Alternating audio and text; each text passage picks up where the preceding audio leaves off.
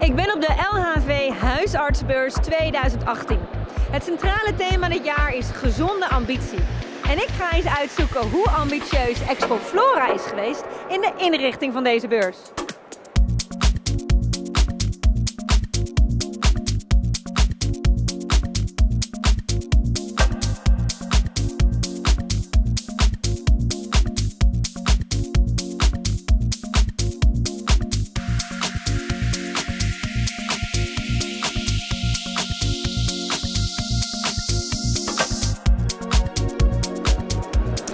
Heeft het thema ambitie Expo Flora beïnvloed?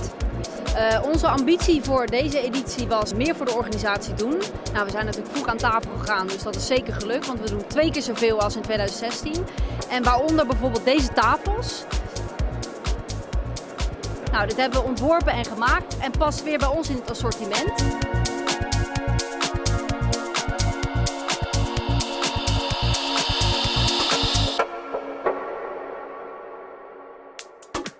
LV heeft een aantal wensen en daar past de Expo Flora mede door het succes van 2016 het beste bij.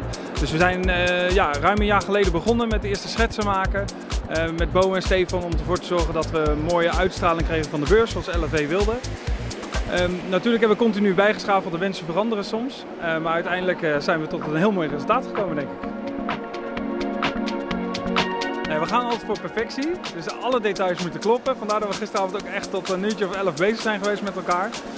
Um, en ik denk als je rondkijkt dat er gewoon uh, elk detail klopt. Uh, er is geen stukje onbedekt. Elk plantje staat goed, mooi groen. Dus uh, het gaat vooral tot op de details. Dat maakt het verschil denk ik.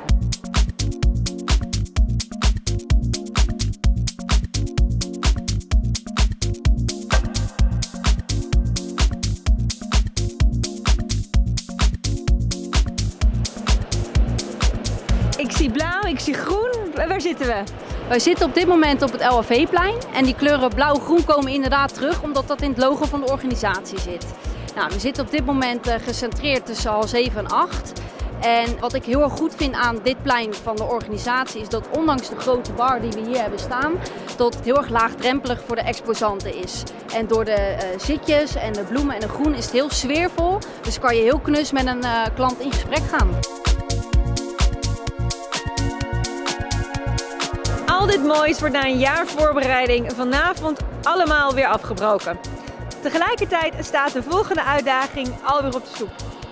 17 april 2018 openen maar liefst vier beurzen, allemaal met inrichting van Expo Flora.